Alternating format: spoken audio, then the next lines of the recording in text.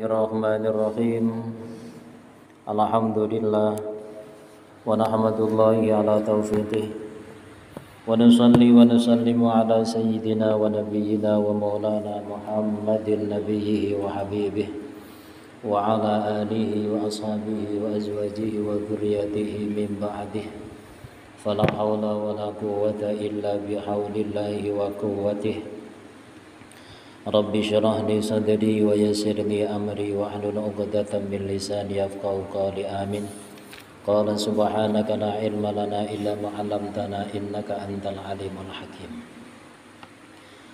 بسم الله الرحمن الرحيم قال المؤلف رحمه الله تعالى وأما قوله عليه الصلاة والسلام Was-sa'idu fi batni ummihi. Adapun sabda Rasul sallallahu alaihi wasallam Rasul mengatakan asyaqiyu bahwasanya orang yang celaka wasa'idu dan orang yang bahagia. Itu fi batni ummihi dalam perut ibunya. Artinya ketentuan bahagia dan celaka itu memang sudah dari kandungan. Fal muradu maka bahasanya yang dikehendaki minal ummi dari, perut ibu. Yang dimaksud dengan ibu itu majma'ul alasiril arba'ati adalah gabungan unsur-unsur yang empat anasir-anasir yang empat. Jadi bukan bukan ibu sebagaimana yang kita pahami. Jadi menurut Kanjeng Syai, jadi orang yang celaka, orang yang bahagia itu memang sudah dimulai dari perut ibunya. Nah, yang dimaksud dengan ibu perut ibu adalah unsur-unsur kejadian manusia yang tercipta dari empat unsur. Alat-alat alat yatawalladu yang terlahir minha darinya apa al qawiyul basyariyatu kekuatan basyariah faturabu falma manusia itu kan terdiri dari empat unsur. Tanah air api dan angin. Faturabu maka bahwasanya tanah wal ma'i dan air sedangkan tanah dan air itu madharus sa'adati merupakan uh, penampakan kebahagiaan. Li'annahuma karena sesungguhnya tanah dan air. Itu muhayyiyani keduanya menghidupkan. Wa mumbitani dan menumbuh wa mumbitanil ya wa mumbitani dan menumbuhkan al imana iman. Karena tanah dan air jadi tanah dan air itu merupakan penampakan dari kebahagiaan. Karena tanah dan air itu yang meng, yang menghidupkan. Wala ilmu dan menghidupkan ilmu. Watawadu dan tawadu fil qalbi di dalam hati. Wa amma juz'un nari warrih adapun uh, bagian api dan angin. Dua unsur lagi yang lain itu fabil aksi maka dengan sebaliknya air itu membakar, angin juga menghancurkan. Li'annahuma karena sesungguhnya api dan angin itu muhriqani keduanya membakar. Semakin angin besar, maka api juga semakin membesar. Wa mumitani dan yang mematikan. Tapi fasubhanaman maha suci zat Subhanallah Maha suci Allah yang mampu menggabungkan beberapa hal yang sebetulnya berlawanan digabungkan menjadi satu sehingga menjadi manusia. Banyu mbek angin, eh banyu mbek geni kan berlawanan. Nah, oleh Tuhan sebagai bentuk kuasa Tuhan, api dan angin itu disatukan menjadi satu. Api dan air itu digabung menjadi satu. Fasubhana man maka maha suci zat jamaah yang ia telah mengumpulkan baina hadil ad baina addadi. Antara hal-hal yang berlawanan ini fi jismin wahidin di dalam jisim yang satu. Makanya menungso niku 75% itu terdiri dari air. Tapi selama dia masih hidup pasti ada hangat-hangatnya. Masih mengandung api. Kama yajma'u sebagaimana Allah mengumpulkan bainal ma'i wan nar. Allah menggabungkan antara air dan api. Wa kama yajma'u dan sebagaimana Allah mengumpulkan bainan nuri wa zulmah antara cahaya dan kegelapan fis sahabi di dalam mendung. Mendung itu kan air tapi di situ ada kilatan api. Ada kilatan cahaya. Kama qala Allah taala huwallazi yurikumul barqa khaufan wa tama'a wa yunshi'us sahaba thiqal huwallazi dialah Allah yurikum yang memperlihatkan kepada kalian al kilat khaufan yang menjadikan rasa takut watoma'an dan rasa harapan jadi ketika mendung kemudian ada kilat itu kan takut-takut harap. Wedine kesambal bedek tapi ngarep-ngarep ceblok udan. Ya wedi ya ngarep-ngarep. Wayung syi'u dan ia akan menumbuhkan as-sahaba thiqal mendung yang berat. Mendung yang kemudian berat kemudian akhirnya menjadi hujan. Wasu'ila dan ditanya siapa Yahya bin Mu'adzin Yahya bin Mu'adz Ar-Razi Bima araftallah. Bima dengan apakah arafta kamu dapat mengenal Allah? Dengan kok kenal pengiran itu Dengan apa? Faqala maka beliau menjawab Yahya bin Mu'adz Ar-Razi bijam'il abdadi dengan menggabungkan hal yang berlawanan. Dengan mempelajari hal-hal yang berlawanan antara api dan air angin dan tanah. Walidzalika dan karena itu pula karena uh, karena menjadi siapa insanu manusia itu miratul haqqi menjadi cerminnya Allah yang maha benar. Jalla wa'ala Jalla ma'akum wa'ala dan maha luhur. Jamalan dalam segi sifat jamalnya Wajalalan dalam dan dalam segi sifat jalalnya. Makanya manusia itu sebagai cermin atau gambaran sifatnya Allah. Yang mana sifatnya Allah itu ada jamal, ada yang indah-indah seperti air dan tanah, dia menghidupkan, dia menumbuhkan, tapi juga di dalam diri manusia itu kadang muncul sifat jalal, seperti sifat amarah, seperti api dan angin. Jadi menungso niku gambarane Gusti. Isinya iya sifat jamal ada, sifat jalalnya juga ada. Jadi menungso niku api iya enek, api ya enek wa majmu'atal kauni dan menjadi gabungan alam semesta makanya manusia disebut sebagai jagat alit bahkan enten sing jagat agung justru alam semesta ini disebut sebagai jagat alit jagat agung itu yang manusia Kenal, uh, karena di dalam diri manusia itu ada sesuatu yang bisa meliputi Tuhan apa dia? Kalau aras, aras rahman itu tidak bisa. Dalam aras itu konon ciptaan yang paling besar, tapi tidak bisa meliputi Tuhan. Lah di dalam diri manusia itu ada sesuatu yang sangat luas, mengalahkan luasnya aras rahman, yaitu hati seorang mukmin. Uh, nanti ada hadisnya wa majmu'atal kauni dan merupakan gabungan alam semesta. Jadi di dalam diri manusia itu terkumpul alam semesta, jagat agung. Jagat alit justru dunia seisinya jagat alit. Wa isama dan uh, ia dinamai kaunan jami'an merupakan alam yang menggabungkan. Wa alaman akbar. Kita mereka wonten alam akbar, jagat agung. Aja ternyata istilah jagat agung niku dari Kanjeng Syabdul Qadir Al Jilani. Alaman akbar. Jadi menungso niku jagat agung. Bumi saisine termasuk langit niku malah jagat alit. Gedian menungso. Gedian menungso tinimbangane bumi saisine. Kenapa? Li'annallaha karena sesungguhnya Allah itu khalaqahu Allah menciptakannya biyadaihi dengan kedua kuasanya atau dengan kedua sifatnya. Nah, di sini ditafsiri ai bi sifat tayil qahri wa lutfi.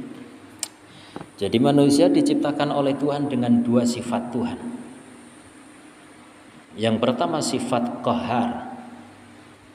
Itu sifat jalal, wal lutfi dan sifat kelembutan itu sifat jamal jadi menungso niku ya ada ada jalalnya ada jamalnya fa innahu maka sesungguhnya ya fa inna maka sesungguhnya la buddha bagi uh, la buddha harus.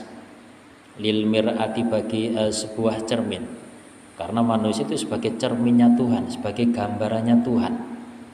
Lah cermin itu ada dua sisi. Ada sisi yang kasar artinya kasar itu tidak bisa digunakan untuk bercermin. Yang sebelahnya bersih yang bisa digunakan untuk bercermin. Dan itu kalau kanjeng saya digawe peribahasa digawe gambaran cermin itu juga ada dua sisi sama seperti manusia ada sisi jamalnya ada sisi ada sisi jalalnya cermin sama cermin itu ada sisi jamaliyahnya Jamaliyahnya cermin itu yang mana? Yang bisa digunakan untuk bercermin. Jalalnya niku eh sing buatan saged digawe bercermin. Dan cermin memang harus seperti itu. Nek cermin niku mboten enten sing lawang hari ini, sing kasar atau sing budak niku. Nggih mboten saged gawe bercermin. Tidak bisa digunakan untuk bercermin. Diarani cermin karena ada dua sisi. Sisi yang sebelah untuk ngaca, di baliknya itu tidak bisa digunakan untuk ngaca. Ada baiknya, ada tidak baiknya. Eh, fa inna labudha harus lil mir'ati bagi cermin min, min ini dari dua sisi. Yakni ia memaksudkan al kasafata pada yang yang kasar. Karena kasar itu ya tidak bisa digunakan untuk berkaca. Wala taufata dan yang lembut. Ada sisi lembutnya, ada sisi kasarnya. Manusia juga seperti itu, ada kasarnya, ada lembutnya fayakunu maka ia menjadi itu mudhirul ismil jami' menjadi madhar madhar madharul ismil jami' sebagai madhar. Madhar itu tempat tempat penampakan. Nggon ngeto gusti. Sebagaimana cermin cermin itu tempat penampakan tempat untuk menampakkan gambar. Lah menungso yang iku madhar. Madhar itu tempat untuk memperlihatkan gambarannya sifat Tuhan. Bukan gambaran Tuhan, tapi gambaran sifat Tuhan. Uh, madharul ismi uh, sebagai penampakan asma Allah al-jami. Allah punya nama al-jami yaitu yang menggabungkan. Menungso podo, menungso juga gambaran sifat Tuhan al-jami. Karena dalam diri manusia itu terkumpul dua sifat sifat jamal, ada sifat jalal. Bi khilafi sairil asyai berbeda dengan eh, perkara-perkara uh, yang lain. Kalau manusia, saya ulangi itu diciptakan dengan dua sifat Tuhan, lengkap. Tapi kalau eh, hal-hal uh, ciptaan Tuhan yang lain itu kadang diciptakan dengan satu sisi, satu sifat.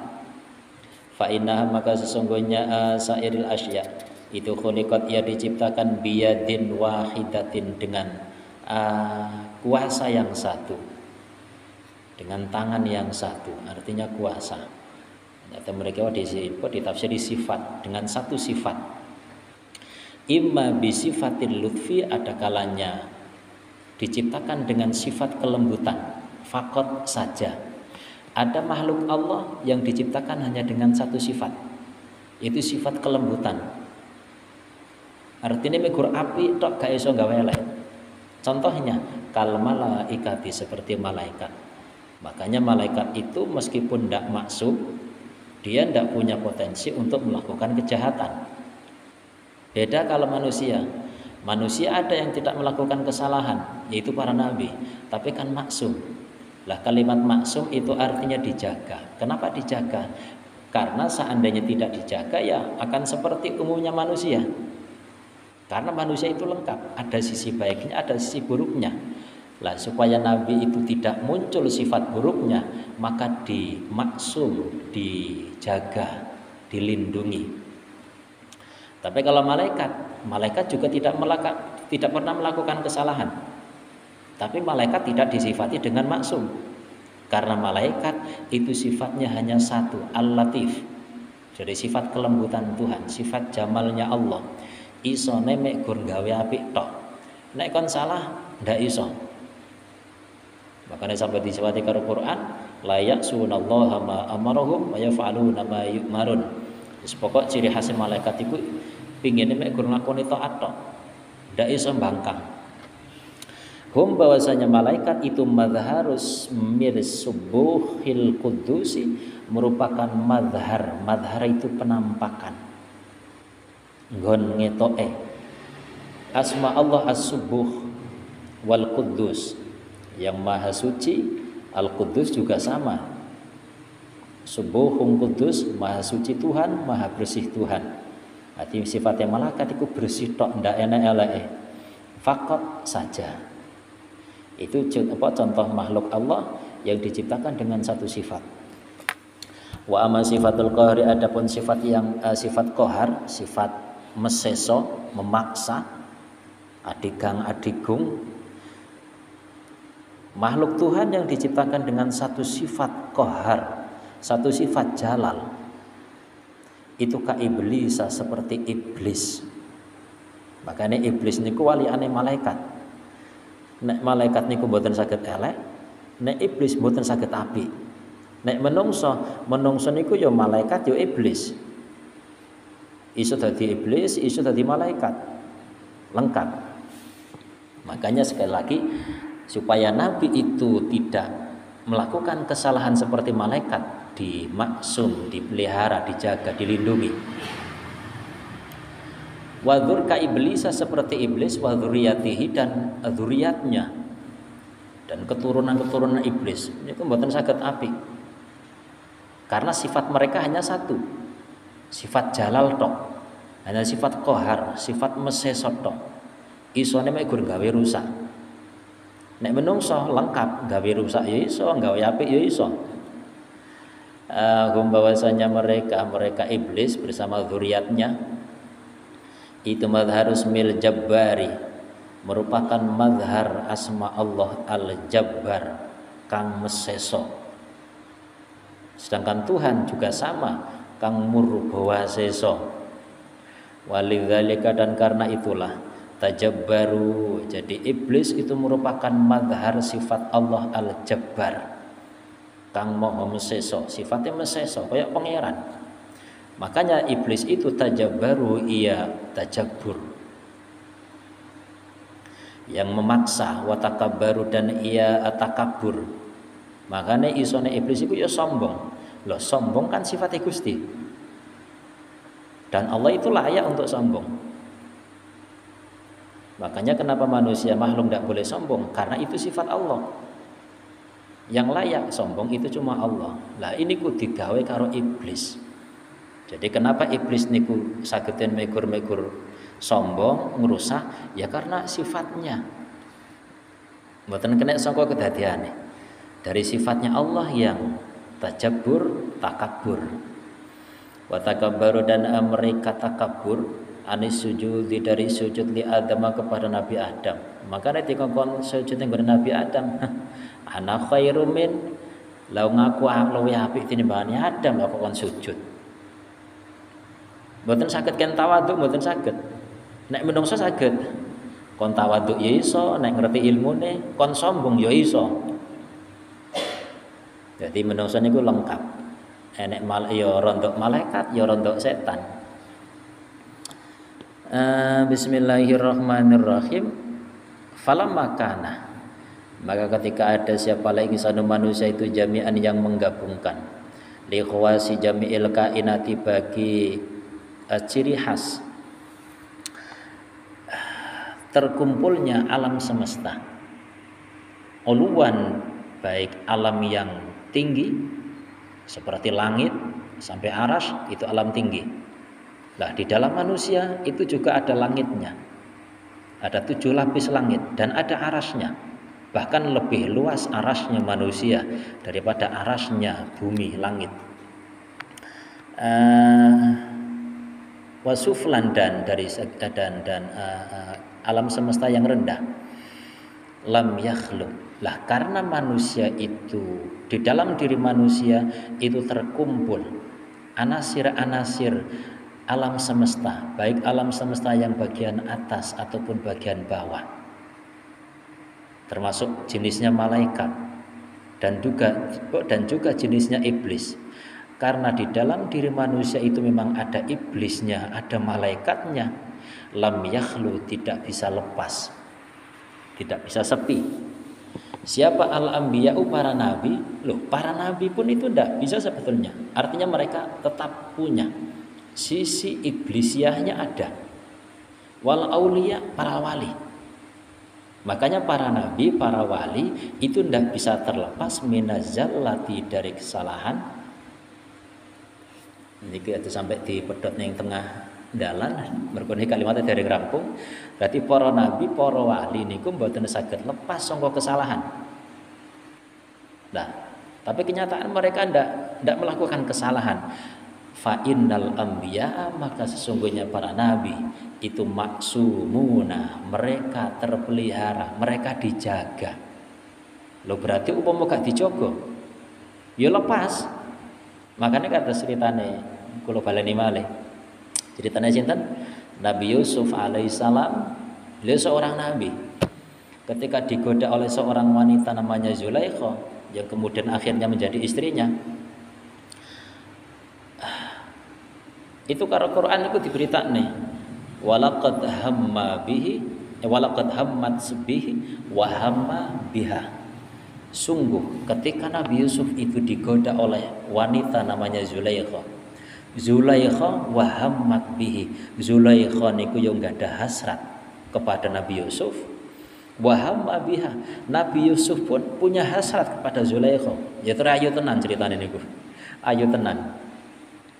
Jadi asli Nabi Yusuf ya duwe hasrat. Yang terayu ya lanang tenan kok. Lanang tenan digodhog karo wedok wayu. Nabi Yusuf niku hamma bihi wa ham walaqad hammat bihi wa hamma biha.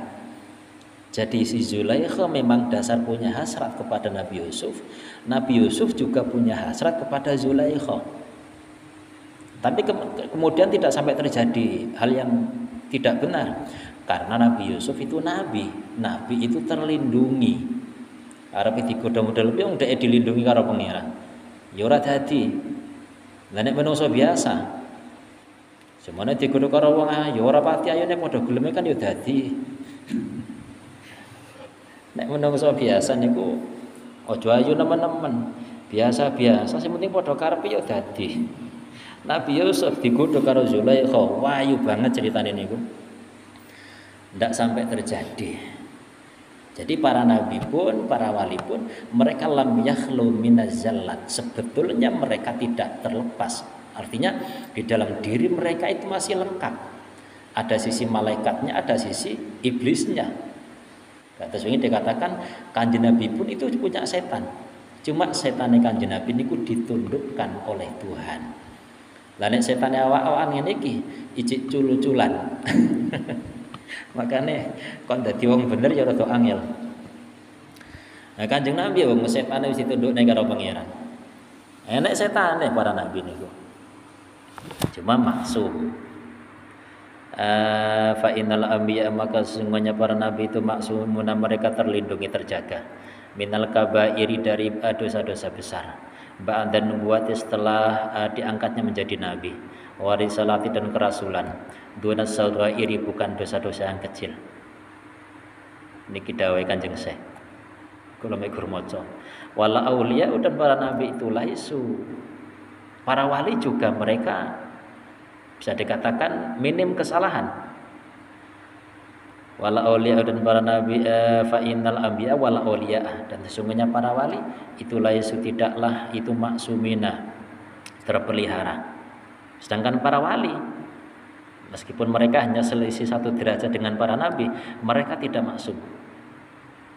Wa dan uh, benar-benar dikatakan innal aulia sesungguhnya para uh, dan uh, benar-benar dikatakan innal aulia sesungguhnya para wali itu mahfuduna mahfud.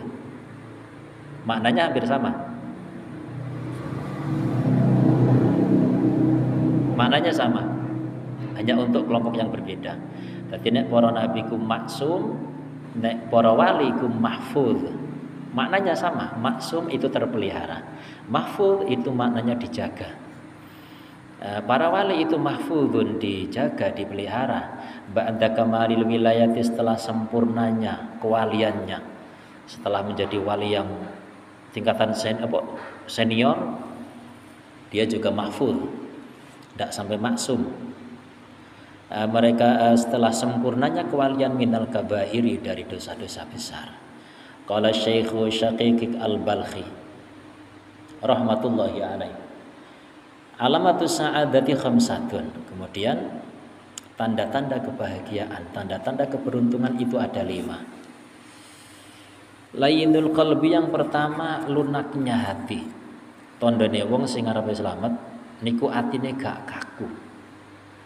Hatinya lunak. Wa kasratul bukai dan banyaknya menangis.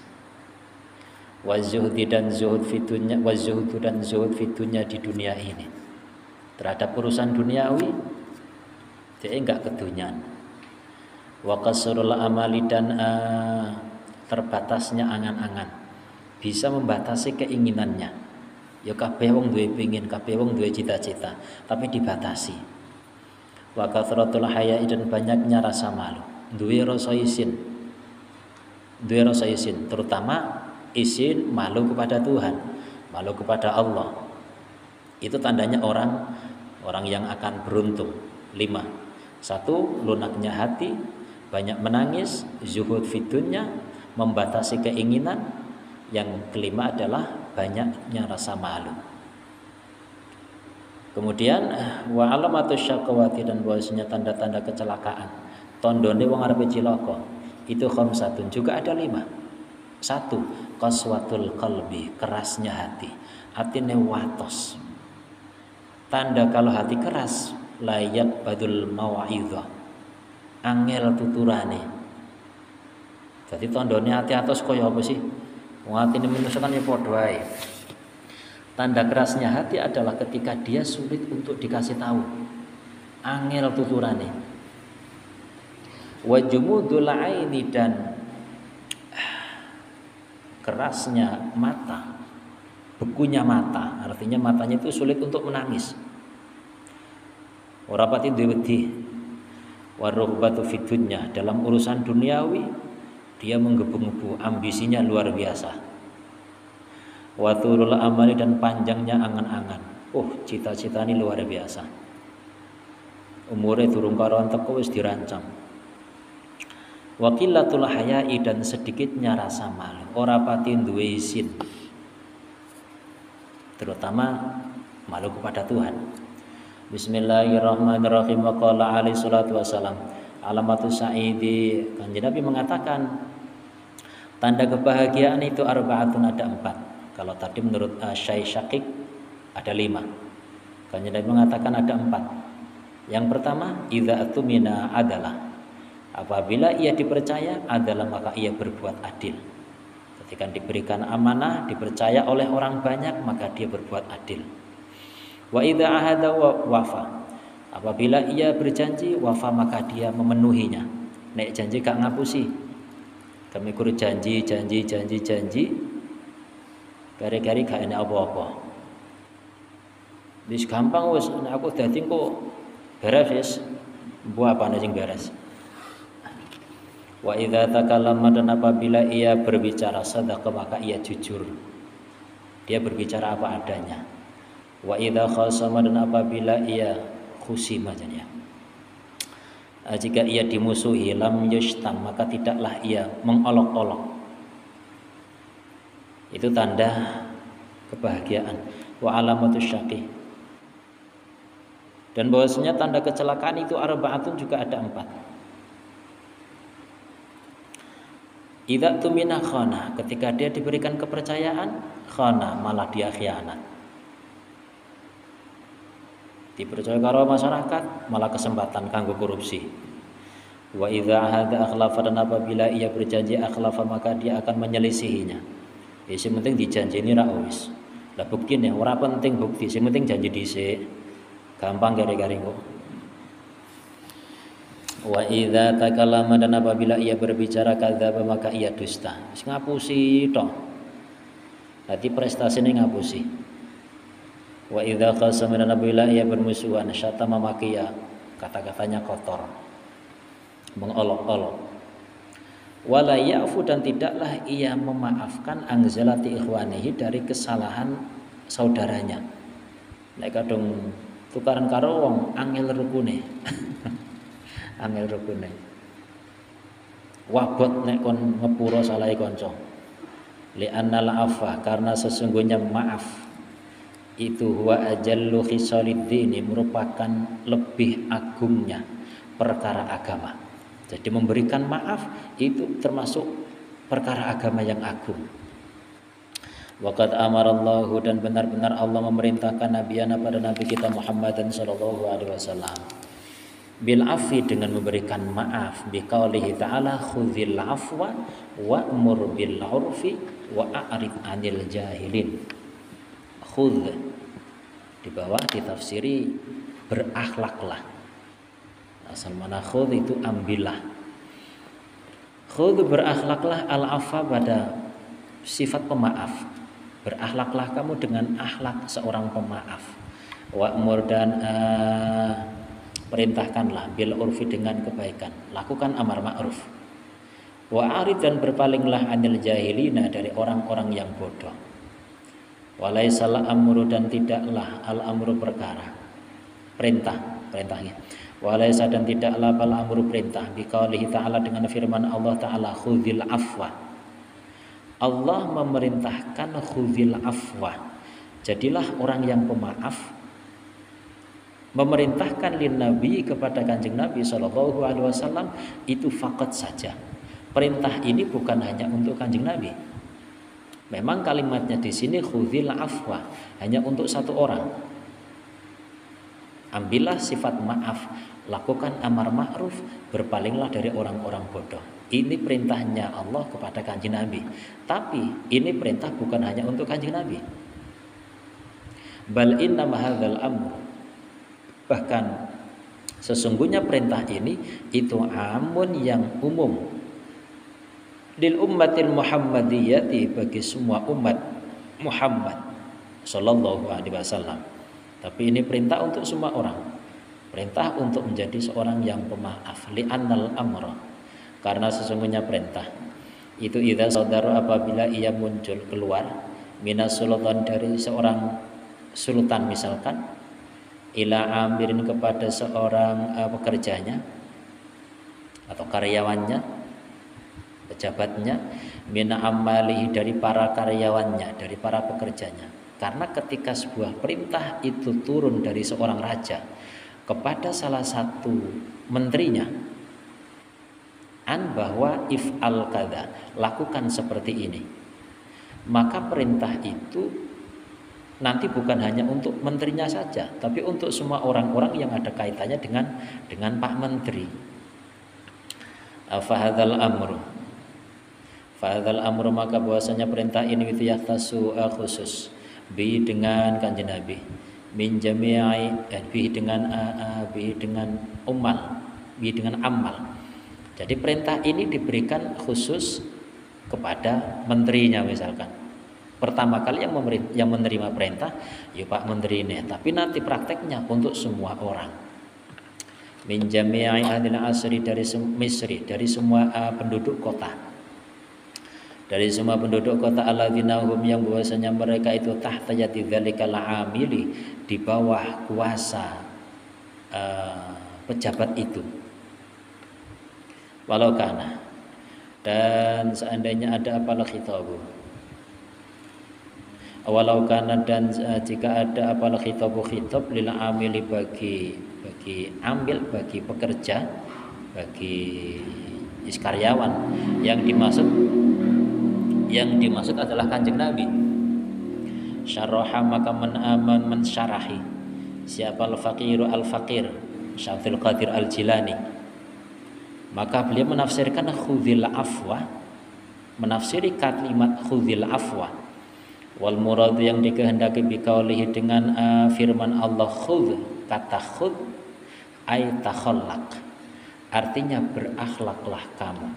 Bihi dengan al afwa daiman selamanya jadi artinya khudil afwa ambillah sifat maaf artinya kamu berperilakulah bertakhalluklah dengan akhlaknya seorang pemaaf karena pemaaf itu termasuk sifat Tuhan Tuhan itu punya sifat al-afu yang maha memaafkan. Faman maka bahasanya barang siapa takhalaqa yang ia berakhlak bil afwi dengan sifat maaf. Memaafkan an hafawatin nasi dari ke, uh, terplesetnya manusia atau dari kesalahan-kesalahan manusia. Faqad takhalaqa maka benar-benar ia telah berakhlak. Bismin dengan salah satu nama min asma'il bari'i dari nama-nama sang pencipta. Dari nama-nama Allah Al-Bari sang pencipta azza wa jalla wa huwa bahwasanya nama itu adalah Al-Afu. Asma Al-Afu. Fa innahu maka sesungguhnya Allah tabaraka wa taala itu qala. Allah berfirman faman afa wa aslaha fa ajruhu 'ala Allah. Faman maka bosnya barang siapa? Afa yang ia memaafkan wa dan ia membuat uh, perbaikan. Fa maka bahasanya pahalanya itu sangat tinggi alallahi atas Allah sendiri. Tidak diserahkan kepada malaikat pahalanya. Tapi Allah sendiri yang mencatatnya. Wa'lam dan ketahuilah. Anna syakawata sesungguhnya sifat syakawah sifat celaka. Uh, itu tatabaddalu bisa berganti bisa adati dengan sifat kebahagiaan. Wasa'adata dan bahwasanya sifat uh, kebahagiaan. Itu tatabaddalu dapat berganti bisa kawati dengan uh, sifat kecelakaan. Celaka bisa berubah menjadi bahagia begitu pula sebaliknya bahagia bisa berubah menjadi celaka bitarbiati dengan adanya tarbiyah dengan adanya pendidikan tergantung pendidikannya biye jadi wong api iso dadi elek wong elek iso dadi apik tergantung tarbiyahnya. Tergantung nek sinau piye kama qala alaihi salatu wassalam kullu mauludin yuladu alal fitratil islam. Setiap yang dilahirkan itu yuladu ia dilahirkan. Atau maulud diartikan bayi. Setiap bayi yang dilahirkan itu yuladu ia dilahirkan al fitratil islam. Atas kesucian Islam ndak ana bayi lahir gawa dosane wong tua mboten enten mboten enten uh, walakin abawahu. Akan tetapi semua bayi lahir suci yang berdosa kan orang tuanya. Walakin abawahu. Akan tetapi kedua orang tuanya lah. Itu yuhawidanihi menjadikan Yahudi anak itu ayu nasiranihi atau menjadikan nasrani anak itu ayu majisani atau menjadikan kafir majusi anak itu. Ila akhir hadis sampai akhir hadis wa dalilu bahwasanya dalil min hadil hadis dari hadis ini itu anakul wahidin bahwa sesungguhnya setiap seseorang itu lahu baginya artinya dia memiliki qabil uh, qabiliyatu sa'adati wasyaqawah uh, menerima kebahagiaan dan kecelakaan. Artinya dari hadis tadi bisa disimpulkan bahwasanya setiap orang itu punya potensi celaka dan juga punya potensi bahagia. Kedua kemungkinan itu ada. Falayajuzu maka tidak boleh dikatakan. Falayajuzu maka tidak boleh. Ayyuqala jika dikatakan hadzal rajulu sa'idun mahdun maka tidak boleh kita mengatakan orang ini murni bahagia. Waktu nyoto-nyoto selamat. Buatan sakit. Tidak boleh. Wala syaqiyun mahdun dan kita tidak boleh mengatakan orang ini wis nemen silokone. Atau siloko is pokok siloko sing mboten enten ampune. Tidak boleh. Syaqiyun mahdun murni ciloko bal yajuzu. Karena semuanya bisa berubah. Yang sekarang kelakuannya kelakuan celaka bisa berubah menjadi kelakuan yang benar. Yang sekarang benar pun itu bisa berubah menjadi kelakuan celaka bal yajuzu bahkan boleh. Ayukola jika dikatakan hada sa'idun. Tapi ketika mengatakan adalah dengan mengatakan hada sa'idun idza ghalabat hasanatuhu ala sayyiatihi. Orang ini bahagia dengan catatan idza ghalabat. Apabila mengalahkan apa hasanatuhu kebaikannya mengalahkan Allah sayyiatihi atas keburukannya. Yes wong iku ya bakal dadi wong sing bejo dengan catatan iso ngalahne keelekane. Dadi api iku luwih akeh tinimbangane eleke.